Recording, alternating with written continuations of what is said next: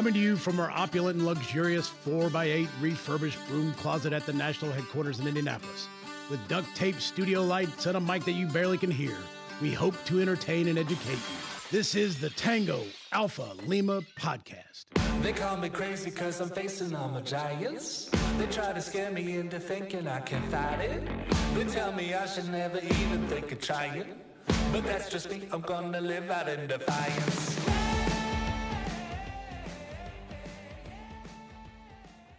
Hello, hello, hello. And guess what? I'm not Mark Seavey. It's Ashley. Hi, everyone. Thanks for tuning in this week. So, as you've noticed, the Alpha, or excuse me, the Tango Alpha Lima podcast is switching it up. And by yours truly, and I hope that we can edit a cool sound into this. Or I can make a sound, right? So I am taking lead as we cover some super special near and dear stories to highlight Women's History Month. So we all know some amazing women in our lives who have worn the uniform and we're going to cover some contemporary and some fun facts today. So I'm going to be your tour guide for these facts, stories, and a little bit of Legion lore on today's show. So buckle up. So buckle up, right? So I'd like to introduce my amazing co-hosts, right? We've got Mark. Steve, Mark, how are you doing? I'm well. How are you? I am great. I noticed I- you've changed do- your I- decor a bit. I do very much like having the day off from having to draft these at three o'clock in the Oh. morning. Much appreciated. And yeah, I've uh. I've entirely shifted my table 180 degrees, so you get Mm. this today with my Tom Brady candle and my bottle of Bailey's and my other nerd Wow. stuff. All, all of the nerd stuff for our, our listeners out there. He has all of the Game of Thrones banners behind that behind him.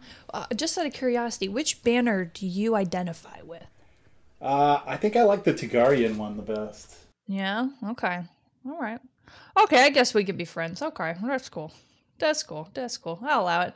And good sir, Mr. Jeff Daly, how are you doing today out in there, Hollywood?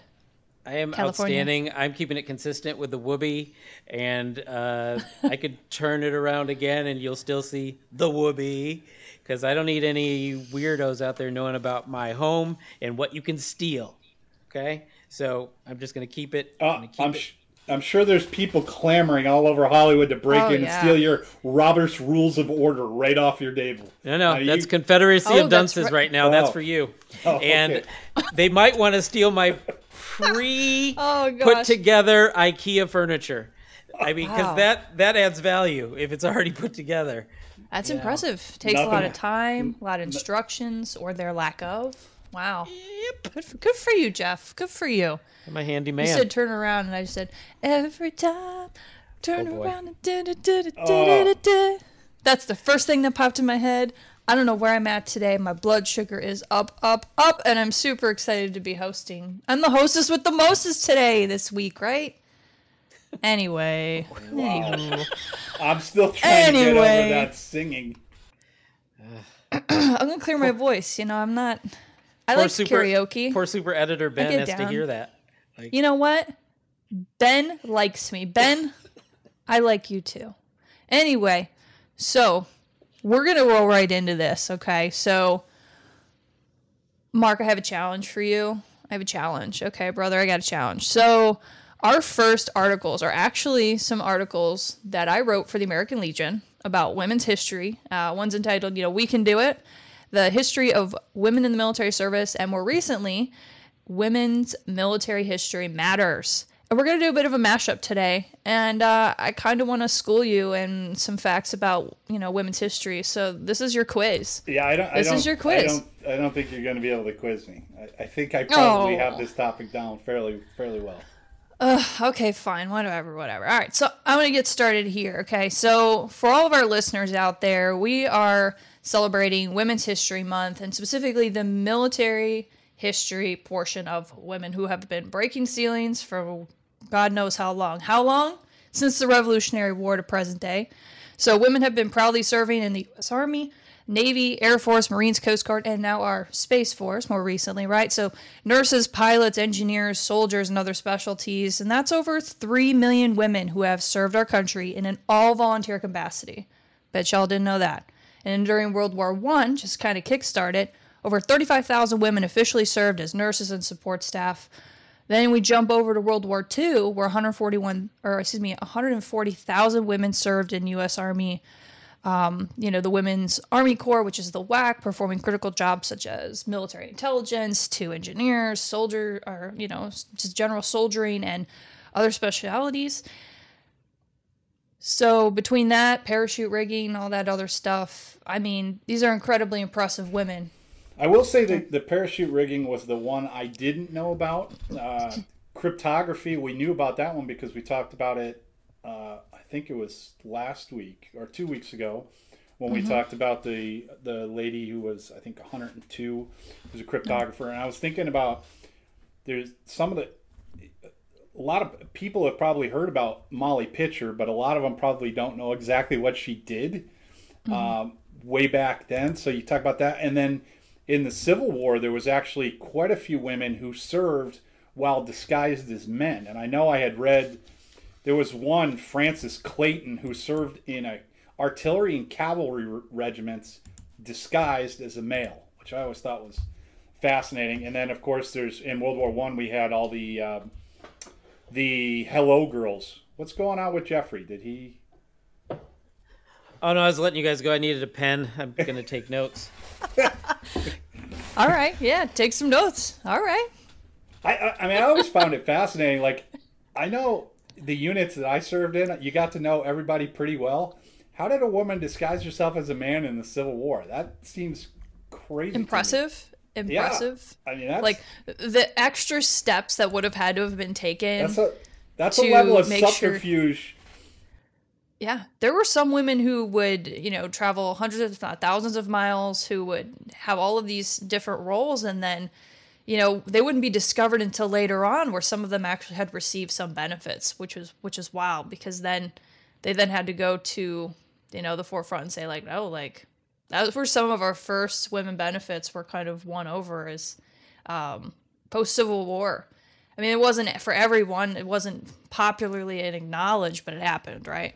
Yeah, well, there So- was there was the first uh, Mary Edwards Walker that was the first Medal of Mm-hmm. Honor recipient, and she actually had hers subsequently rescinded until Yeah. it got unrescinded later on. But yeah, it wasn't uh, it wasn't It's an interesting time. We've we- we've we've we've definitely we've come a long way. That's for sure. So let's let's move on. Okay, so we're after World War II, and so President Truman signs the Women's Armed Services Integration Act, and that was June twelfth, nineteen forty eight. And for fun facts out there. Uh, for some of our legions, uh, our state legions departments, some of your states actually have um, official Women Veterans Day where they recognize it on state levels, which is pretty cool. Uh, but that uh, June 12th is commonly referred to as Women Veterans Day, but it's not, again, a national thing. But that's where it comes from.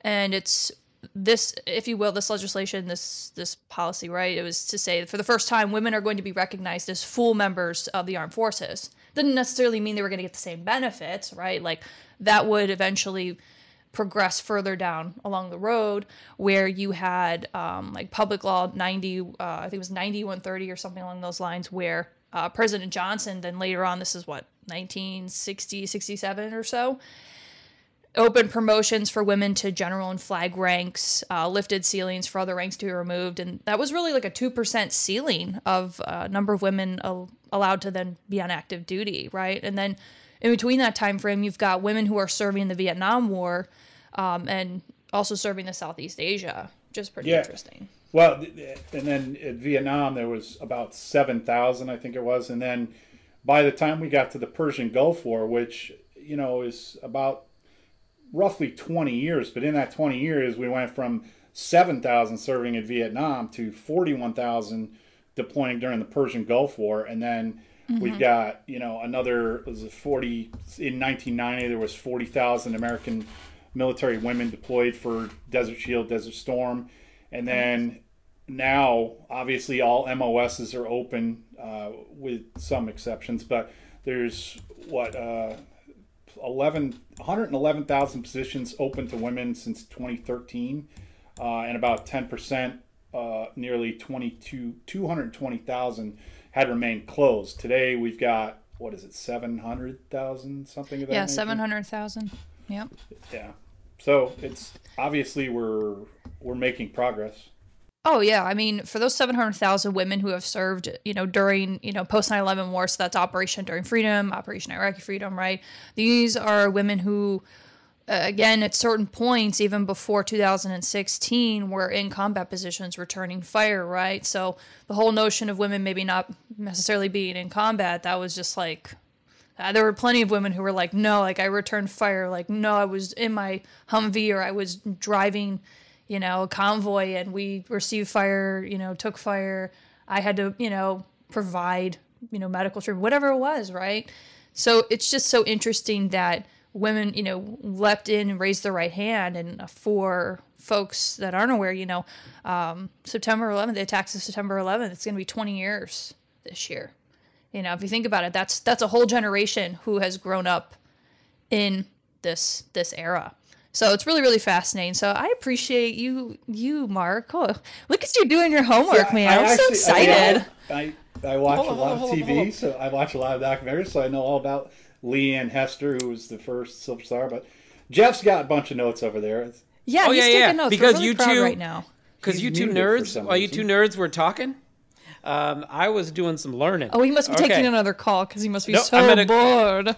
No, I'm quizzing. kidding. I'm going to quiz I don't you know two. what he's doing. Is he still? I'm gonna quiz you two. he- Nope, You're I'm quizzing mute, you. buddy. You're I'm on mute. What the what? This is fantastic. He- He must. Ashley's really- always trying to mute me. But anyway, I'm going to quiz you two. Are you ready? I did no such my thing. first one. My first one you already answered, but I'm gonna I'm gonna add a bonus to it. So you, uh, who was the first woman Medal of Honor recipient? That was um, Mary Nope, Walsh. Ashley. Walker- oh, Mary- nope, Mary you Walker? said it. It was Dr. Mary Walker. A bonus for the year. Whoa! Ooh, Even the ooh. decade. it would have been eighteen. Oh shit. Oh. Get your fingers off the keyboard. I would have said 1863. You would have been close. It's 1865. All right. Ooh, okay. Who's the first All right. American Actually, you know what? I, I'm going to take it whoa. back because the first Medal of Honor wasn't even issued until the Great Train Robbery, which I think was 1864. So I should have actually known. I should have known, Jeff. So it took. It only took one year for the first woman to get it, and we're waiting for the second. So Yes. some- Waiting for Uh, the the- second. Although I don't wish the circumstances on anyone to be able to be a recipient, but nonetheless. Okay. Their next, my next quiz. You guys thought I was just sitting there silent, like just being passive. Uh, this one you both Oh. love should know. this. This super easy. The Yeah. first American Legion commander in year, of wo- woman commander in year. Ooh, Ooh. um, I think it Oh. was. I know Mark um, knows it. I know Mark knows No. it. So Mark doesn't have a clue. the first Really? American Legion woman commander. Wasn't it Oh, in oh, the oh, 30s? oh, oh, you're okay. Okay, I stand corrected. You're talking about national commander. Yes, yes, yes. Oh, Oh, okay. national I- I commander. thought you oh, Denise I was Rohan. trying- Oh, you're. I was Oh, trying not to think like I don't know Wyoming, 1927, but that was the was like, first yeah. female. See, I didn't have the to, same I didn't have time to. De- I didn't have time to drill down that far. That so would did you guys be- say? Did you guys at least say her name, please, in the year Denise Yeah, Rohan, Denise and I think it was it was 2016 or 2017. seventeen? She's, All right. uh, Yeah. So she's- not everybody, not everybody knows these things. So please share and don't disparage. there's right, no dispa- nobody I wanna know the disparaging first- Denise.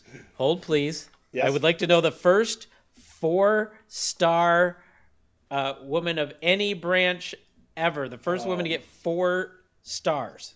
Oh, On her- um, I think it was. It was uh, Army. It was. I think it was Anne. Is it Anne Dunley? Oh, I might be messing her name up. Oh, was she first four star general? Oh, this is so fun. I- this I is think- fun. Final I love this. I'm not going to Google it, but I, I think I think you're in the right ballpark. No, Ashley, get off the computer. she's I want cheating. to know. Now I want to know. Well, I'm going to tell you, it's Ann Dunwoody. Yes, yes, yes, yes, yes, yes, yes, yes. We've there you actually go. had her speak at something, I think, or I've seen her speak at some event. I I, I should have known that one, but yeah. And Holly was saying there were post commanders in some year. I didn't. 1919, maybe. Right at 1919. Yeah. Did we have one right out the gate? Was Wow. it was it right out the gate for like first like all female posts? Like I know that that was a thing too. Yeah. Okay. Yeah. Oh. oh, how about how cool? Look at we are learning so All much right. today. Let's keep let's keep this train rolling. Rolling. All right, we're gonna take a quick ad break, and we'll be right back. The restaurant industry is a great place to pursue your passion while building a career at the same time. If you like to cook, enjoy being part of a team, and show off your skills, sign up today for Restaurants Recruit. Restaurants Recruit will directly connect you to restaurant companies looking to hire great military talent and willing to invest in your career. Sign up if you're a veteran, a military spouse, or are getting ready to transition out of the service and are ready for your next big move. It's free and easy. Just go to chooserestaurants.org slash restaurants recruit to get started on a future in restaurants.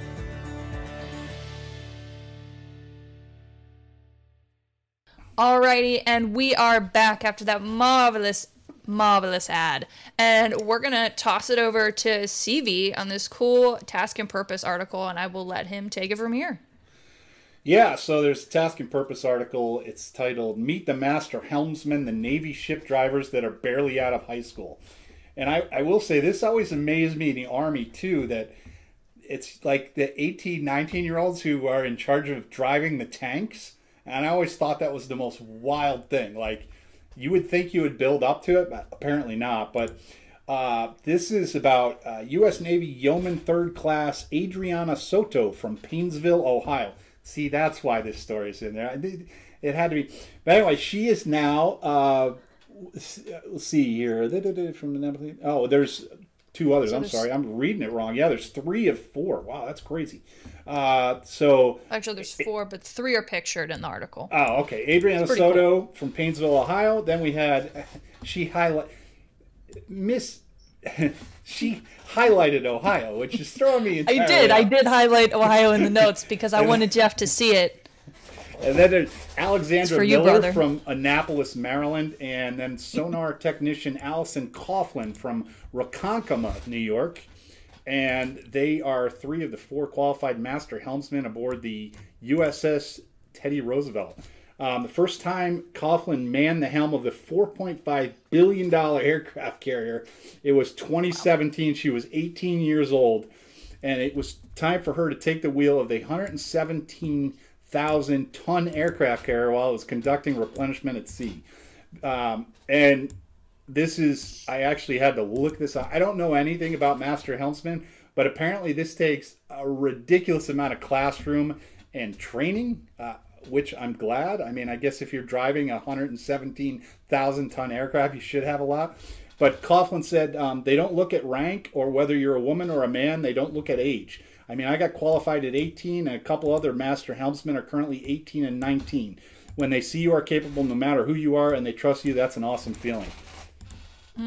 That's powerful. How how do they see that you're capable? Is what I'm wondering. Like, what are you parallel that's- parking? Well, Uh, they have all mer- these. They have all those, merging onto the freeway.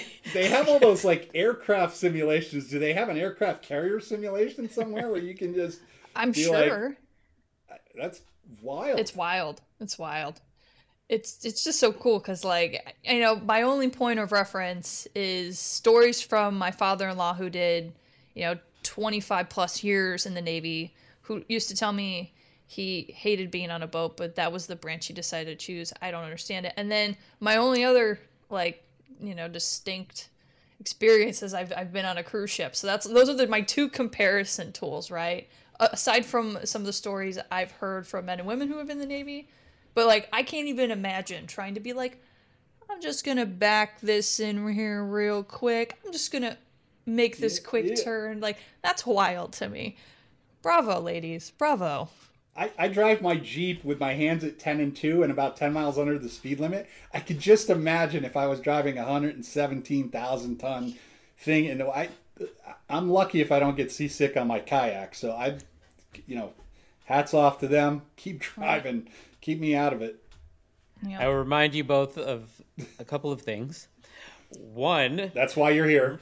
Marines are on ships. You don't have to be in the Navy. And uh, as I was on a ship and do not get seasick. Well, I do come from the land that is bordered by 20% of the Earth's fresh water and is above that other state called uh, Ohio. Yes. So, are we go? Are, are we? Are we moving? Are we? Yeah. Are we if- shuffling off the buffalo? I, I will I, say I one thing. guess is I will you had to get your Michigan joke in there, but okay, okay.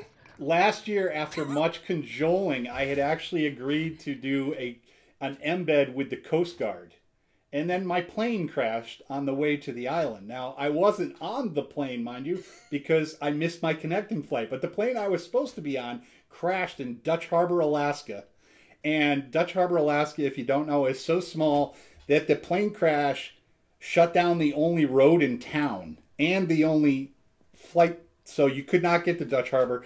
So my Coast Guard cutter left without me, and that was probably the last opportunity I'll ever have to be on a boat. So I missed out. Oh. Wow, Aw. that's uh, It's that's very sad. We're gonna have to explore this story at another time. Wow. Okay. Super producer Holly remembers because I was calling in a panic from Anchorage, Alaska, like, "Hey, my plane crashed, and I don't know what I'm supposed to do." And so I ended And up. I'm gonna.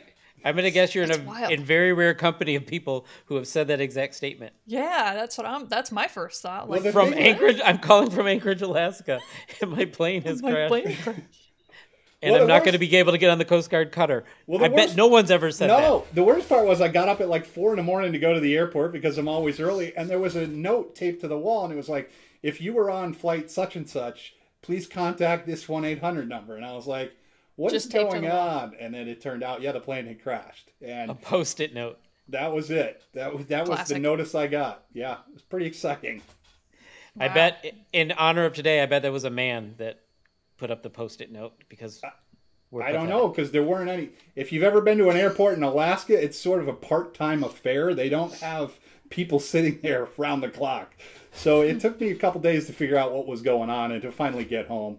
And I I've missed- never been to the "Welcome to Alaska" sign in Alaska, so there. Ala- Al- Alaska is legit awesome, but. All right. it's probably Well, well, well. top That's top three favorite states in the world. I know. Right after learn Michigan. something new every week, ladies Yep. and gentlemen. There every you go. week. All right, topic three. Uh, the U.S. Department of Defense is, is coming up with the first women, first military women of color exhibit, and it's already open at the Women's uh, War Memorial. So if you're in D.C., go check it out. Well, uh, the story is while all women in the United States Armed Forces share a history of discrimination based on gender, women of color have faced barriers of gender, race, and traditional cultural values in the pursuit of opportunity for service in the armed forces. Now, there's persistent efforts in demanding inclusion for the right to serve. Women of color have seen their roles across society in all sectors tremendously expanded, including their presence in today's military.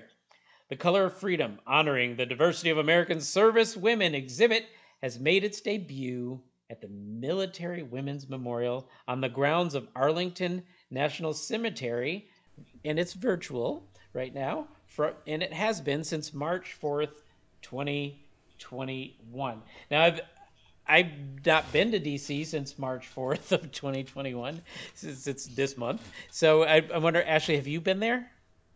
I have not. I have been meaning to to take a trip. I was able to uh, through the link that'll be in the show notes. They've got a really cool breakdown of the exhibit if you're unable to obviously get to, to Washington, D.C., Virginia, Arlington area to see this exhibit. Um, but, you know, if you're, if you're following these folks on social media, they've been posting different photos, they've got it on their website. Um, it's really meaningful. And I think it's incredibly important with a lot of the overarching conversations that we're having right now in America. And it's no more, of course, important than it is right now with Military Women's History Month. So I think, yeah, it, it made its debut virtually through like a ribbon cutting ceremony on the March 4th. And it's going to continue to be out and about. And it, I, I think it's cool. I think it's great. And I know um, U.S. Department of Defense covered this story, and there are others that are covering as well. And I think it's really important. So, very cool. Mark, what do you think? You gonna go virtual? Go check it out virtually. I- I know you don't like. I know you don't like to leave your your your little town outside of Indianapolis. No, and they're I- giving you an opportunity to see it virtually. I don't want to bang the same drum every single time I get on here, but I'm still waiting on Alwyn Cashe's Medal of Honor, which will be the last like trip I take for the Legion. I logged, I told him a year and a half ago, like when Alwyn Cashe gets his Medal of Honor, I'm going to it. And as always happens when I go to a Medal of Honor ceremony, I set aside one day to go to Arlington and to visit my friends that are there, and I will absolutely go and visit this. Uh, I'm not really a virtual guy unless we're talking about online role playing games. uh, other than Well. that, yeah. I, Well, now. if my little hobbit could run there through the Lord of the Rings online, I would visit it. But otherwise, I'm not really a virtual guy. I can't. I just, I You're- physically you're- can't. You're sorry. virtual you went there. guy. You do- You're a virtual guy to me because I've only ever seen you on screen. I- That's true. That's. Mm. So you might not be real. I'm gonna have to ask Con- Holly. Convention, brother. Convention. We are going to have a like few some adult Matrix beverages. I, I have I have at least met Ashley, and Ashley has met you. So I guess we're one eh step away from meeting it. And you met And my I've met. Holly, and you've met Holly. Yeah, and you Yeah, met my boss, and I know my boss. So it, there's three people. We're one degree of separation away. So, oh wait, wait, hold on. I'm getting a I'm getting a ding ding ding in my ear. Hold on. oh my gosh, there's a fun fact. Really? I'm supposed to tell the nerds. Which nerds? Oh, Mark and Ashley. Yeah, yeah, yeah. They're in full nerd mode. Sure, sure, sure. I'll let them know. All right. I just got some breaking factoid news to tickle the nerdy brains of the Nerdingtons, and it is. According to a 2018 government report, women of color represented nearly 61% of enlisted women in the United States Armed Forces and about 38% of women officers, I assume also in the United States Armed Forces. It was an incomplete factoid, but the nerds understood it. I can tell, I can see the amazement in their eyes. Yes. wait, wait, wait a second. Uh, Did you just play the wait? It's breaking news on a report Yeah, yeah, from yeah. Oh, no. 2018. From Yeah, yeah, yeah. 2018. Oh, it, this just in. Shuffle paper. Wait, hold on. uh, Civil War broke out in 1861. Did you know? Did you know? No, I didn't know. I broke the news it- to you, son. I broke the news to you. Look at you dropping knowledge on me. The more you know. Well, Wow. I am proud of you. That is fantastic. I, I think it is. Uh, I just. Oh, oh wait, this just in. I think we're gonna go to an ad break next. Oh, I think you're right. I think you're right, Mark. I can confirm. And roll ad. I can confirm that. Let's do it.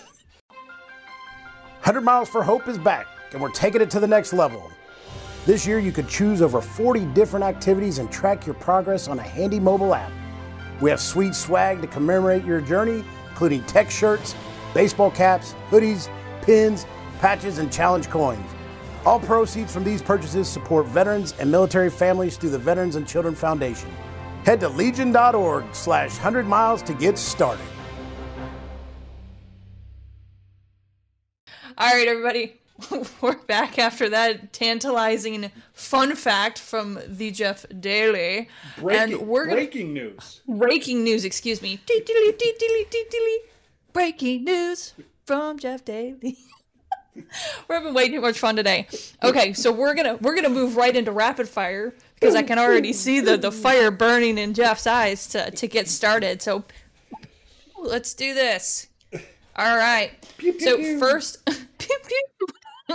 so the first one up, um, support for making women register in the draft, but none for mandatory service. Commission says officials from the National Commission of Public Service offered a host of ideas to increase young Americans' interest in serving in the military. In a testimony before Congress a few weeks ago, and they're reviewing all of this information and data and we'll see what they agree upon hopefully later on this fall 2021 fingers crossed knock on wood what did you all think of this Let's. Uh, I'm gonna tiptoe here because there's a there there's a lot of there's a lot of landmines in this topic. So we we've spent an entire show talking about uh, women being capable, uh, being heroic, doing big amazing things, and if and if that is the case, and we will assume that it is factual, then not only should they be in the draft, they should also be drafted for dangerous duty. uh, along with men. I mean, it's we're talking about equality, and of, of course, uh, just like when men get drafted, if they can't handle the job, they get sent somewhere else. I mean, they're not going to make someone go to the infantry who can't be in the infantry, uh, regardless of internal plumbing. So I think that yes, women should definitely uh, take advantage of the privilege of signing up for the draft, hoping that they never have to uh, be called upon, and then also that they, if capable, they could be called upon to do dangerous duty, including combat. Okay. All right, Mark. What do you think?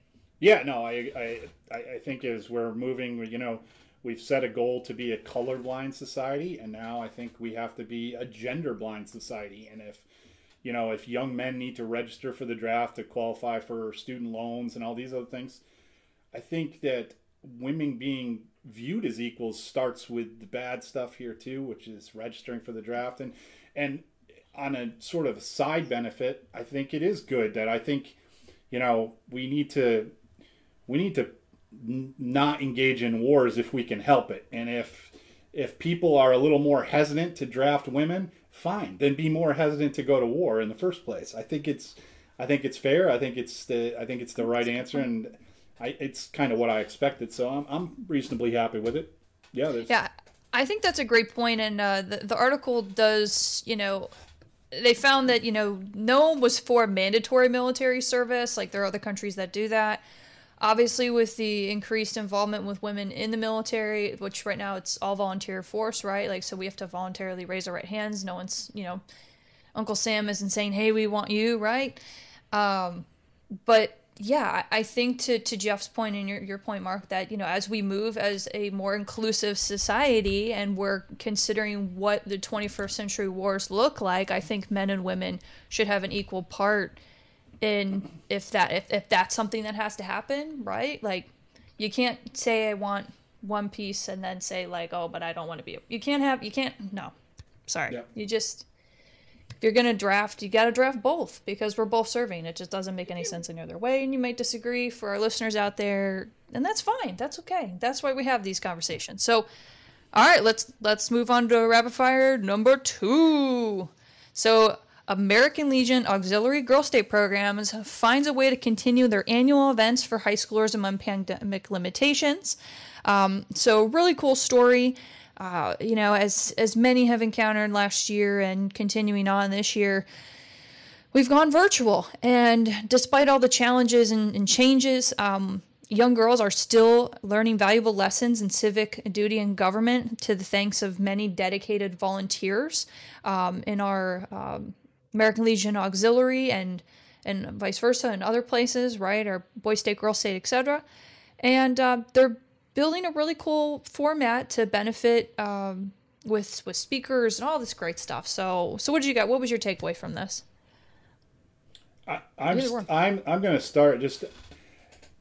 Yeah, it's good that the auxiliary is certainly looking at this, and I presume the Legion is too. But I I'm still cautiously optimistic that we'll be able to go to Boy State I've mm. always said I volunteer every year at Boys State, Boys State of Virginia, the best boys state in the country as far as I'm concerned, and my bucket gets low dealing with people complaining all year round and complaining about millennials and complaining about this, complaining about that, and the bickering mm-hmm. about politics and everything else.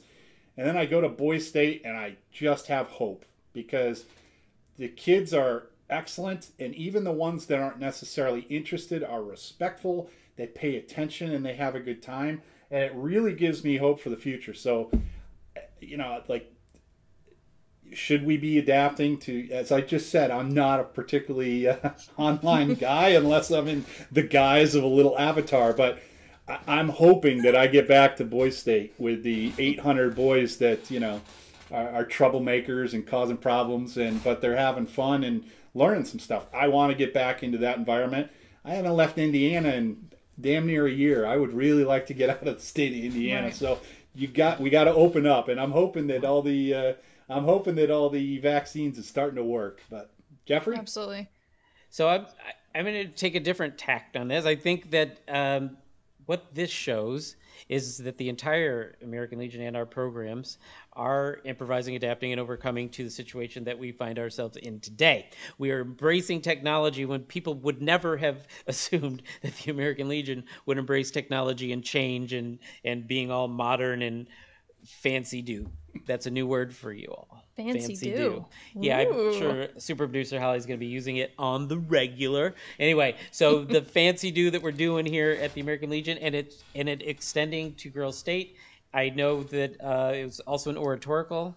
Uh, I've seen some, Yeah. some stories about oratorical doing it. I'm not sure how they do it with the rules of things not being recorded. Thus, I don't know. I don't understand how that part all works, but I'm I'm I'm happy for the girls of Girls State. I'm happy for the people who are participating in all these programs that it's not being taken away from them because of COVID. It's terrible when COVID, uh, like tertiary fatalities such as losing out on this experience and the scholarship opportunities and the putting it on your uh, college applications and all of that. I'm glad all of that is being taken care of, even for our our friendly technophobe, Mark Seavey. Even though he has to deal with that, um, I'm glad that we I'm glad that we have a solution for these girls. I, I am I am like half Amish and half Luddite. Like I hate technology, and I'm still in the leading vanguard of the American Legion in terms of technology. It's a little startling, but I will say that we've come a long way. I, I can point out about a hundred members of our NEC who are not very technologically savvy before, who now have regular meetings on Zoom and on Skype. So yeah, it's so it's kind of sad that it took a pandemic and your tertiary casualty thing is couldn't have phrased it better if Yeah. I had a hundred years. You're exactly right. It's it's a shame that that one year. It's like the the year that time forgot. These poor Yeah. people didn't have the opportunity to do that. I'm glad that we're not going to let future problems like this. But again, a year and a half ago, this probably would have been pretty unimaginable. This was stuff out of a Stephen King novel. It wasn't out of anything that was actually happening in real life. And now, hopefully, we're we're almost in the clear. I know I get my shot, my second shot here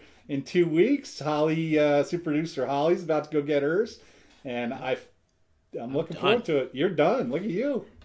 I got. I'm, hey, I'm the only te- one who hasn't gotten the shot yet at all. Like I'm I'm, Team still Pfizer. waiting. DC is a weird area because we are not a state; we are just an area, right? We're just a region, and uh, yeah, Uh, we're gonna uh, get there. And just a quick shout out: the VA has been great. I, say what you will about the VA, the VA has been phenomenal in terms of vaccination. I've seen it from all my friends who are are posting pictures of them getting the shots. I think it's great. That's the. Well, I know we're not talking. I know we're not talking about vaccines, but I'll say the West LA or VA is all ages for veterans. If you're in the VA system here, it's all ages, and also Team Pfizer, Kalamazoo, Michigan. What home of who? Jeff Daly. That's what I'm saying. You too can have a little Kalamazoo insight. Never mind. That's All right, you really ready? inappropriate. Woo, okay, Uh, see, I was. I was Lord actually. have mercy. All right, Here's So- a little little known CV fact: Pfizer was my first employer. I was a copper smelter for Pfizer in 1986. Yeah, thank Copper? that one. wow, I wasn't even born then. Okay, Yeah. I was, a, was a copper smelter before Ashley was a twinkle. So there you go. Yet another CV factoid for you. Uh, Every time, like I, when I hear people say like "not even a twinkle in your eye," I always think of that Family Guy episode with Stewie. Not like an endorsement of Family Guy, but like that's where my brain goes. I just picture that. I like the one where he. I like the one where he's fighting with his uh, with his unborn brother, who is uh, Yes, that's Wallace exactly the Shawn is the voice of him. Yeah, Anyway, Jeff is like, "What the heck?" come on, All man. right, you so don't that like was Family Guy? that was a good rapid fire. It wasn't super episodes. rapid. All right. All right, so rapid fire number three. All right. So President Biden has nominated two women generals for four star command. So there are more than 230,000 active duty women in the U.S. Armed Forces, and every day many of them are breaking barriers and becoming the first of first. And some of these women that have been nominated have been kicking butt for a long time and have very loud and proud careers. So shout outs to Air Force General Jacqueline Van o- Ovost, Ovost, I believe I said that correctly apologies, ma'am.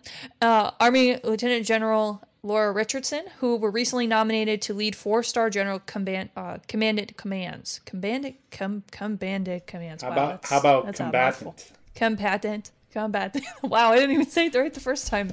You're Sorry, all my listeners. right. We're. Still We're not saying it right. That's why I got you, buddy. but listen, super impressive women. They've got really great backgrounds. I'm so happy. You know, if, if confirmed, they'll be like the second and third women to like hold these positions. A great nomination, I think. You know, very well deserved. Like these are qualified women, right? Like we're not just like, we're not just throwing names out there. Like these are qualified women who are, are rocking it and they're doing amazing things. What are your guys' thoughts? It's a bunch of bull. Jeff. No, seriously. Neither one of these are a Marine. So waste of my time. Oh. Uh, Oh, boy. I think this is.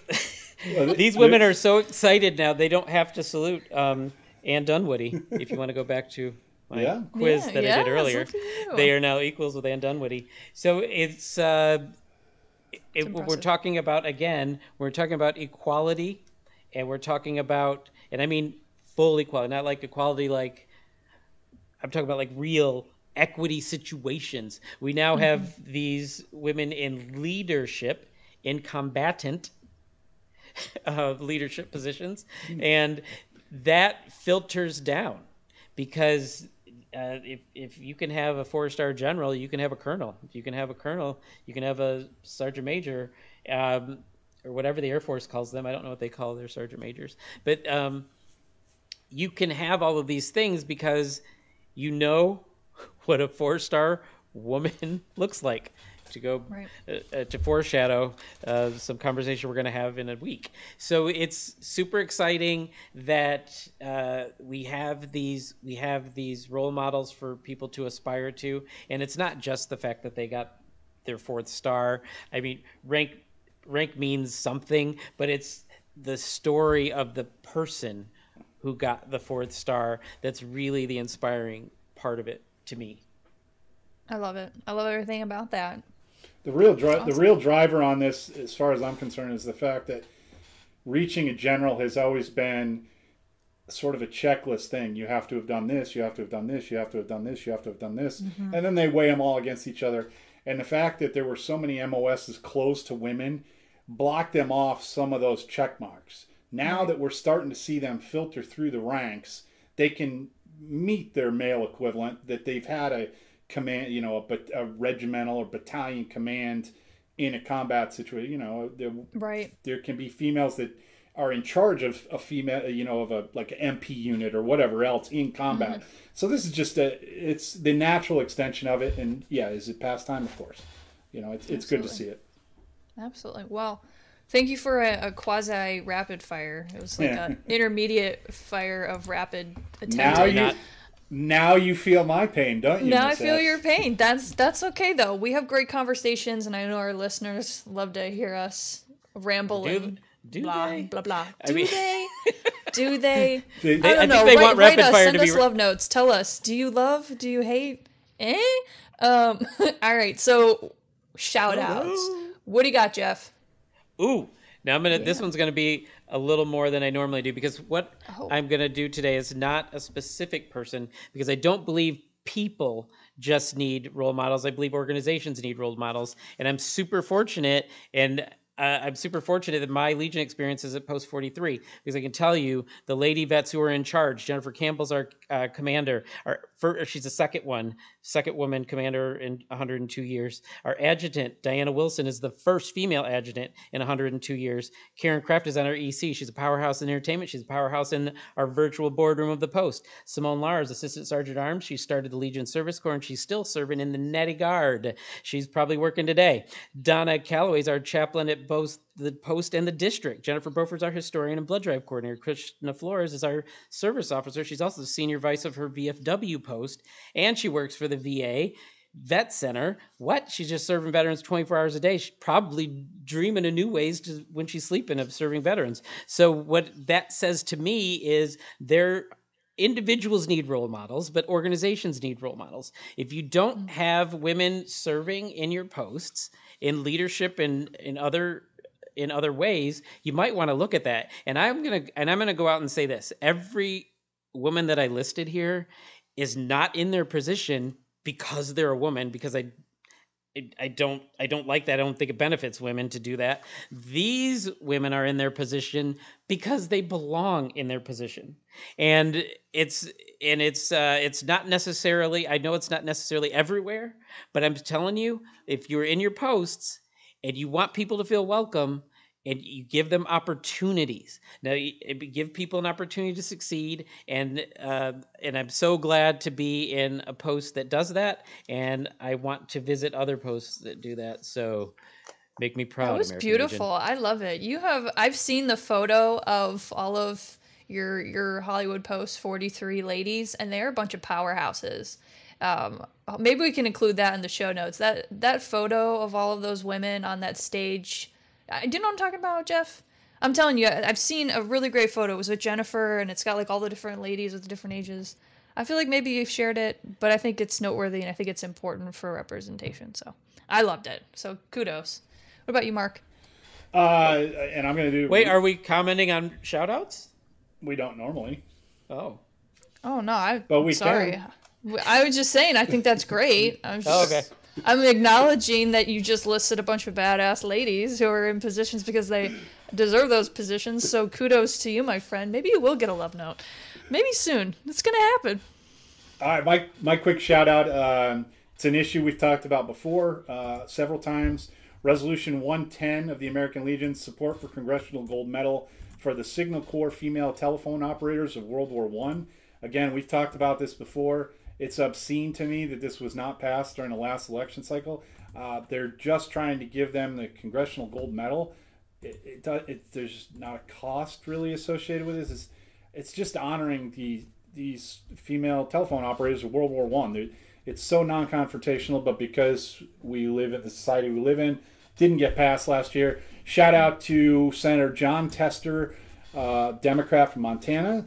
Shout out to Senator Jerry Moran, Republican from Kansas. Shout out to Mary Senator uh, Margaret Hassan, Democrat from New Hampshire, and shout out Senator Marsha Blackburn, Republican from Tennessee. It's not a Republican Democrat issue. It's not a male female issue. It's something that needs to get done. They have introduced S692. Uh, I would encourage everyone to contact your member of Congress. If their name is not on this list, call them and tell them they damn well better be on this list, or you're going to call them every day until it gets done. I love it. I love it. So, we are wrapping up an amazing episode, and I will conclude with this. So, last year alone, women graduated from Army Special Forces training, uh, became a, you know, we had a woman become a, a Green Beret for the first time in history. We've got an Air Force pilot that became the first woman to fly an F 35 in combat. The Navy selected its first women to take command of a nuclear powered aircraft carrier, and the Navy's first black female fighter pilot earned her wings. I just want to say happy Women's History Month to all of our lady vets out there and continue to be loud and proud about your stories. Um, and I just want to say salute to all the ladies and all of the supporters, all of our legionnaires out there who are helping share these stories and really allow women to feel welcomed at our posts. So I appreciate you all. And uh, my last, I guess, words would be, you know, make sure you're wearing your shoes because there's glass everywhere, ladies and gents. So this is the Tango Alpha Lima podcast signing off and reminding you to subscribe to Tango Alpha Lima podcast on YouTube, Apple Podcasts, Spotify, or wherever you find your podcasts. And while you're there, don't forget to rate us, preferably five stars, and leave us a review. Um, you can also uh, recommend a guest uh, to for or excuse me for us to interview. So we also look forward to hearing your feedback and any love notes can be sent to Tango excuse me Tango Alpha Lima at legion.org. So we just want to say thank you to everyone and we'll be back next week. Happy Women's History Month. Spotify. Spotify.